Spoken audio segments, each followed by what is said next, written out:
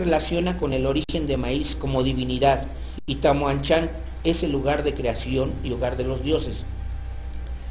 Es también Tlaeleguani, comedora de inmundicias. Ah, de aquí hablamos dos, Tlazolteo y Tlaeleguani, que comen inmundicias, es decir, van a transmutar nuestros errores, no el pecado, no existía ese, nuestros errores.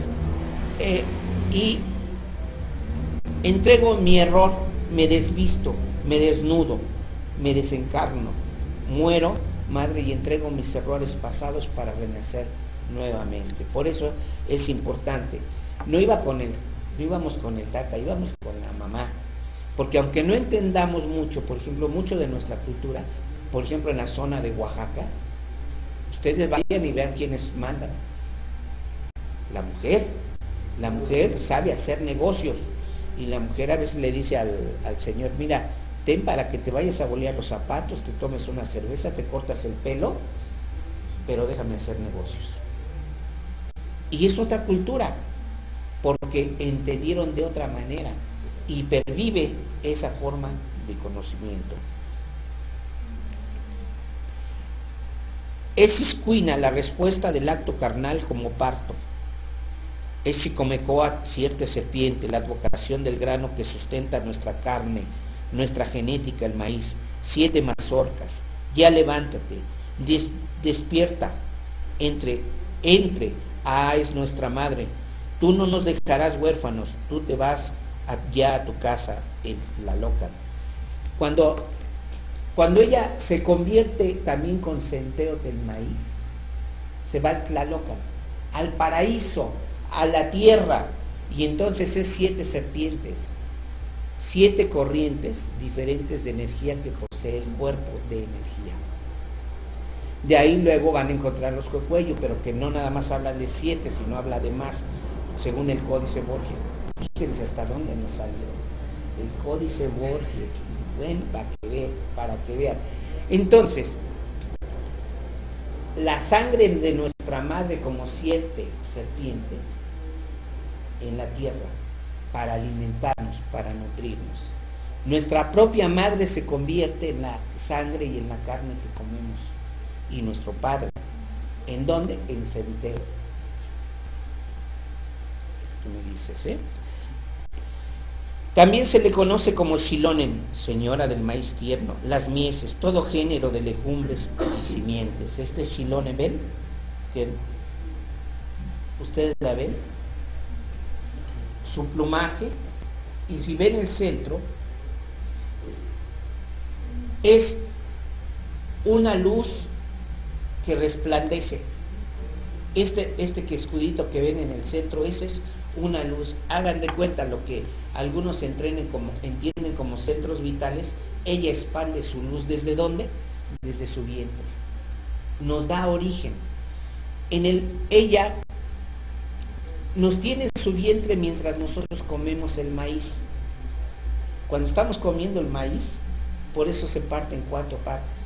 La tortilla no se agarra así, no. Si la corta son cuatro partes. No, no, no es nada más, ay, no, no, cuatro partes, ser respetuoso. Entonces, esas cuatro partes, y comienza uno a comer una parte, un cuarto, que es un rumbo del, del universo. Y ella, ese es el maíz hecho tortilla, hecho resplandecencia. En realidad cuando comemos una tortilla de maíz estamos comiendo el sol, porque ustedes ven el sol y van a ver que tiene puntitos, ¿no? Cuando están las explosiones solares, vean la tortillita y tiene quemaditas, esas quemaditas son los puntitos del sol.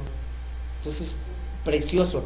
Esto no crean que yo me lo aprendí, me lo fueron enseñando, porque a nosotros nos decían, ¿Cómo, ¿Por qué rompes la tortilla así? No, así en cuatro partes. Entonces, es, muy, es místico esto. Cuatlicue, la siguiente. Cuatlicue, origen de la humanidad, madre de la tierra, la Vía Láctea. Chalchitlicue, señora de las aguas terrestres, contraparte de Tlaloc. Siguacoat es también la señora de la fertilidad el grano de maíz que renace de la muerte para dar origen a la planta sagrada. serpiente de las raíces, es también Mitlatzigual, señora de la muerte. Miren,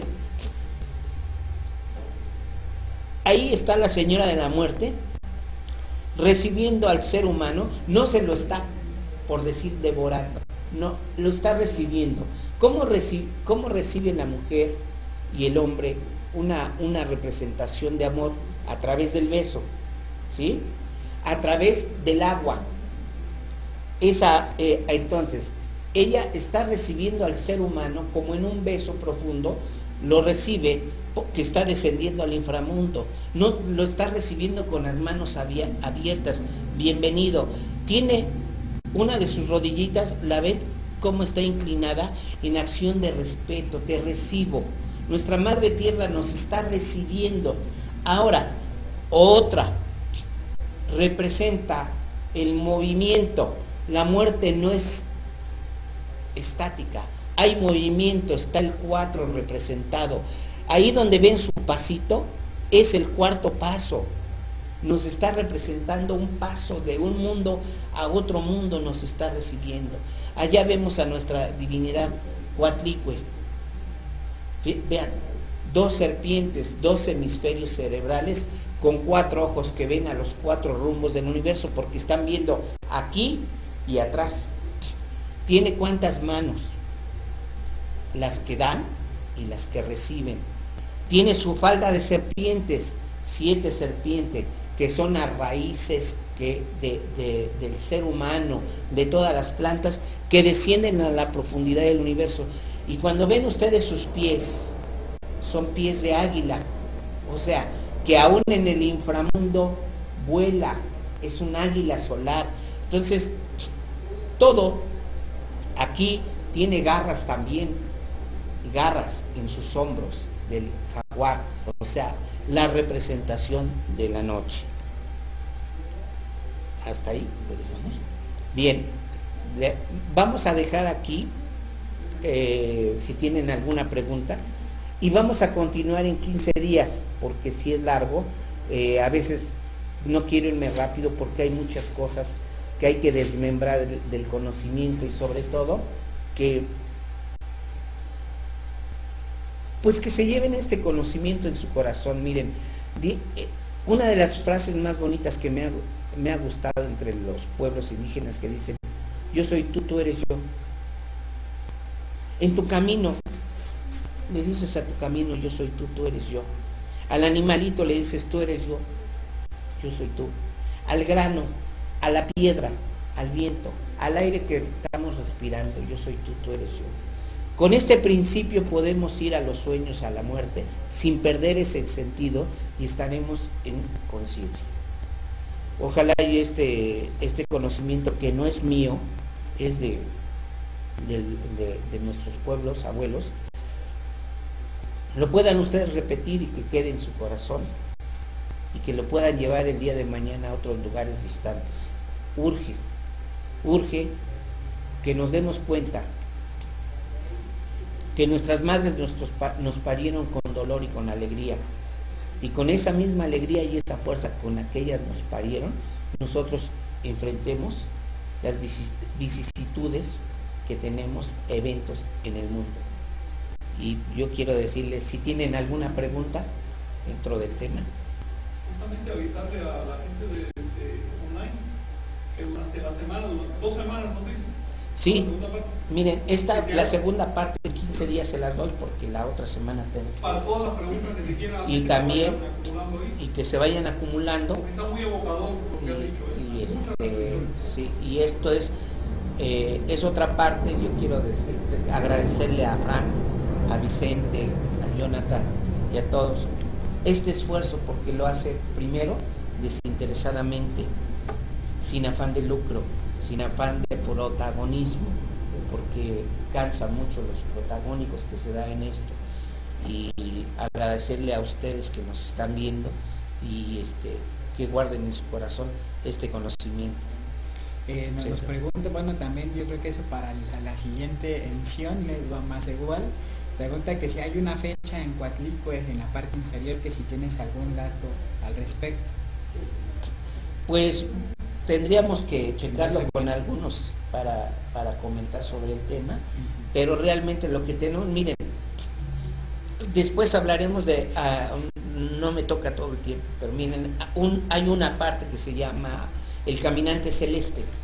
Es una escultura así de este pequeñita que por tristeza no, no está en México, de turquesa, que está, por ejemplo, toda la cuenta de tiempo de Venus y sus movimientos. Es una de las esculturas más bellas. Y los abuelos dicen que en efecto todos los códices tienen fechas, nada más que nos falta encontrar cómo son. Sí, muy bien. Este, recordamos que con, esta, con este programa iniciamos, eh, vamos a hacer eh, serie especial sobre la madre este, eh. La siguiente semana vamos a ver imágenes de las culturas de Anagua con representaciones femeninas para que en dos semanas en dos programas de Nika Nash, Shauri nos haga este favor de seguir con la presentación para concluir también con un programa especial relativo a Coatlicua, la Virgen de Guadalupe.